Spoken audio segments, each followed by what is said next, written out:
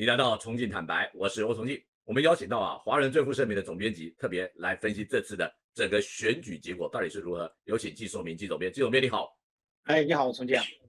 是，我想您已经看了整个开票过程啊，昨天足足大概是开了五个小时的票，然后有了一个特殊的结果，那就是他从开票开始一直到开票结束，他们两两之间的落差一直是百分之七，而且第三势力看起来真的在那个地方不动如山，还在慢慢的继续成长中。季老师，您如何来点评这种独特，而且过去三十年所有台湾选举开票过程里面从未出现过的现象？有请。啊，那个其实三这个台湾这么多年这个呃直选开票啊，其实都一个模式啊，唱票拿着票读一下啊，这个好像是呃不像这个大陆啊啊电子的摁一下，对吧？这个检票那个哎这个做的很原始，但是很认真啊，这这个是。看着看着是蛮过瘾的。那么呃，我看啊，这个整体的这个选举结果啊，基本上跟我们以前这个评论当中没有相差很多。对，我们的预测非常精准。哎，但是有一点，就是还是有些意外。什么意外呢？就是柯文哲的票，他能够有达到百分之差不多二十七，这个是有点跌破眼镜了。那一般原来认为他大概就是在百分之。二十几、二十二左右，二十二、二十二，哎，对对，那个，但是他一下子可以冲到百分之二十七，这个可能要分析到底最后是啊那个什么力量，但是那个就像我呢，你刚才讲的选举结果啊，各差近百万票，那是三组人马啊，都在百分之七左右。那白军作为第三次这个力量啊，理论上应该是成军了，是吧？这次选战看柯文哲的这个挑战对象，他主要还是国民党。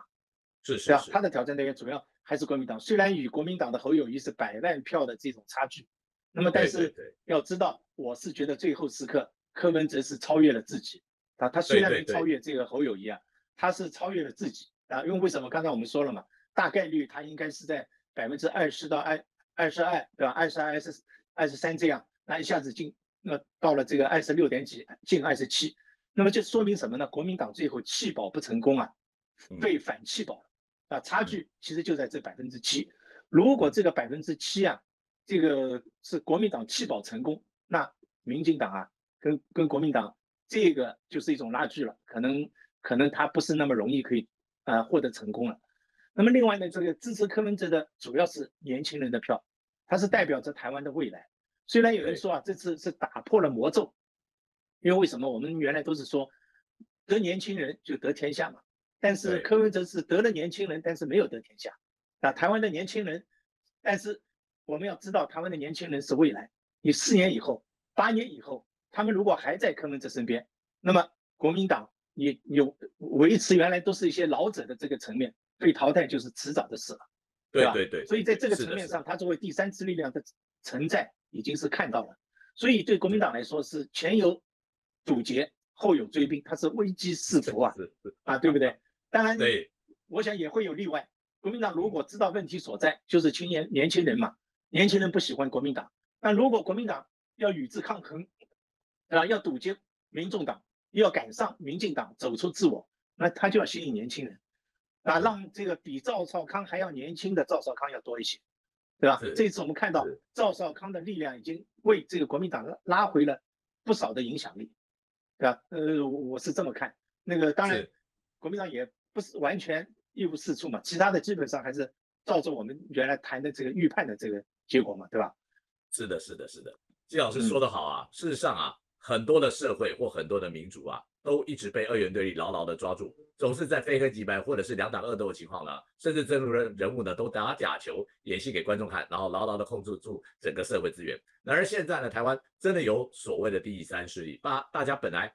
绝对不相信会出现第三势力呢，它就稳定的出现了。而且从我们知道的百分之十二，上到了我们认定会出现的百分之二十二，在最后的关头，甚至到了百分之二十七。那我们也都算得出来，四年之后还会有多少新的年轻人成为手头族，而四年之后又会有多少老年人从民进党跟国民党老去，而且不再出现在投票的场合里面。这么一来一往，国民党目前是百分之三十三，如果四年之后它再下降百分之五，就会成为二十八。民进党如果再下降个百分之三，它就会成为三十七。可是如果在四年后，民众党呢成为百分之三十二甚至三三以上，那它就不再是老三了。所以柯文哲这种精于计算而且喜好投机的人，他一定立刻算出这个结果。这时候他心里一定有一个新的决定，而且我们几乎可以笃定，四年后柯文哲一定会卷土重来。那时候，或者是在这个过程里面，您认为民众党以及柯文哲他会做什么样的铺陈运算，然后让来让他自己先稳占第二，甚至窃居第一呢？季总，那那我我是觉得啊，柯文哲的目标主要对准的还是国民党，因为。这个呃赖清德啊，他基本上已经机关算尽啊，这个百分之四十就是他的基本盘。这个百分之四十，他其实在一开始他没有呃赖皮料的这个状况下，他就是百分之四十。后来有了这个赖皮料出来以后，跌到百分之三十五，后来才开始回升。基本上他的这个基本盘就在三十五到四十，就是这个，所以民众党最后的目标应该是对着对着国民党来的，而且国民党呢。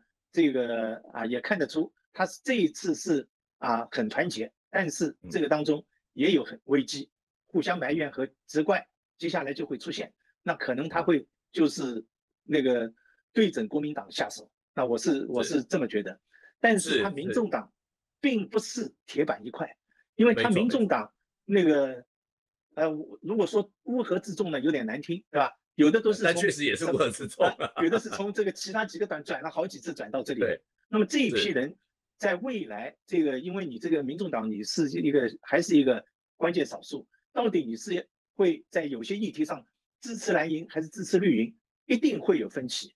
其实现在这种分歧已经看到出来了，所以他要经营也不是那么容易的。所以呃，这个如果说国民党在这一次当中，他能够吸取教训，对吧？如果吸取教训，他重新真的是走上改革的路，那我看这个国民党现在跌到百分之三十三呢，也也差不多就是它的基本盘了，是吧？再往下跌，这个空间也不是很大。所以如果说他真能够那个痛定思痛，把这个青年这股力量能够吸引和组织过来的话，再加上这个四年以后啊，那个蒋万安能够啊站成熟和站出来，是吧？配配合这个啊那个韩国瑜啊赵少康等等，对吧？这个老中青的这种结合，国民党还是会有有希望的。所以这个民众党也不要轻易这么说，我第三支第三力量已经站起来了，对吧？这个我觉得还只是一个苗头，能不能成熟，要看国民党到底他还能不能撑得下去，对吧？你这个柯文哲一个人的魅力，能够能不能变成全党的魅力？因为原来这个呃这个宋楚瑜分裂出来的时候，他的力量也很强啊，亲民党那个时候。对吧？后来也慢慢泡沫化了，所以我觉得现在说它已经完全成型、牢不可破，还为时过早。好，感谢季总编辑精彩的提醒与点评。但愿呐，真的有一只这个世界主持善良的看不见的手在后面慢慢的运作之中。谢谢季总编，感谢。好，谢谢大家，谢谢。